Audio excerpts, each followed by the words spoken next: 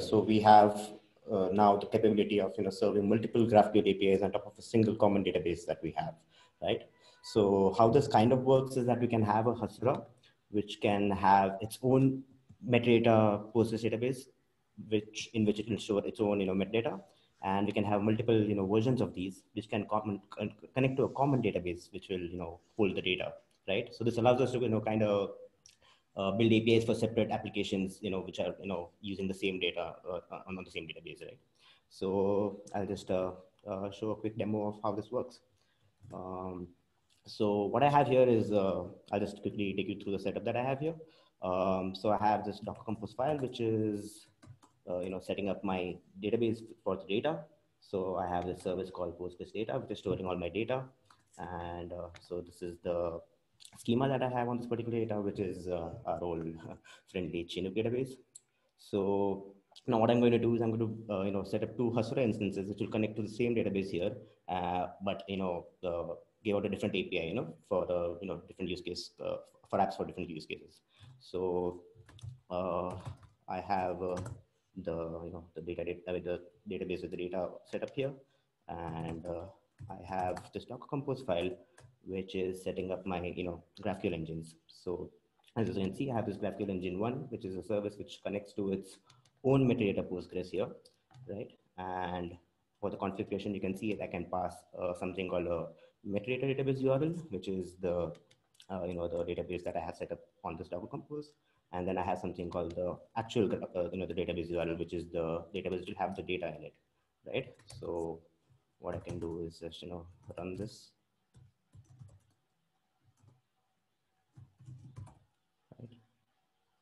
and what we should see is a GraphQL engine, you know, set up here. And what I'm going to do is also I'm going to run another, uh, you know, GraphQL engine, which uh, which is a very similar setup. I've just changed the names of the services here, right? And as you can see, they are connected to the same, you know, Postgres data database here uh, about the data, right? So I'm just going to run this. And it all looks good here. We have two versions of GraphQL engine running and cool. So what I'm going to do is also, you know, run a GraphiQL instance using GraphQL so that you can explore the API that we have. Um, as we see here, we have a query root, but there's no fields in, in it, right?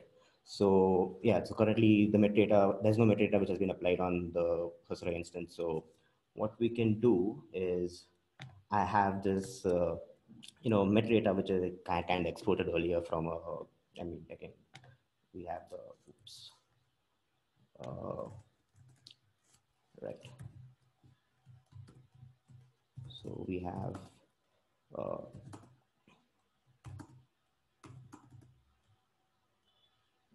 cool. So this is just a metadata version that I had exported earlier. Uh, and I have a similar one, which I'm calling the public one, right? So as you can see, the metadata here has data of the album, the tracks, and the artists, right? While I, the internal metadata has data regarding customers, you know, employees that, uh, you know, we have and stuff like that.